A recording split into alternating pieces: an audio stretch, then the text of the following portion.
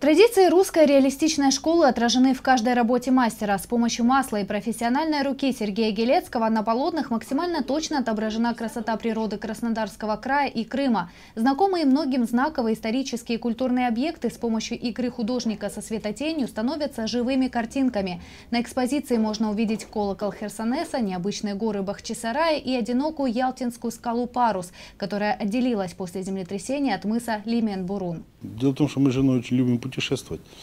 И последние четыре года мы отдыхали в Крыму. Ну, естественно, это такой край солнечный, светлый. И оставляет очень глубокую память. На выставке представлено около 30 работ. Над некоторыми образами Сергей Александрович работал в течение нескольких недель, а вот эти были созданы с натуры буквально за 40 минут.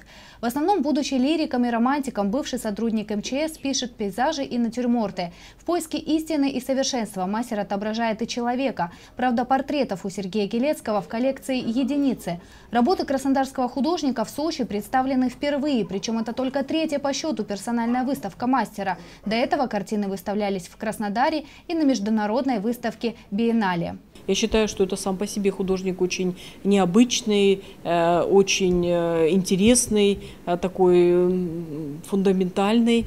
И мне приятно, что такие работы такого художника есть в нашем городе. Полюбоваться картинами жители и гости курорта смогут ежедневно с 10 до 17 часов, кроме понедельника в арт-медиа-центре «Родина». Выставка Сергея Гелецкого будет работать до 10 октября.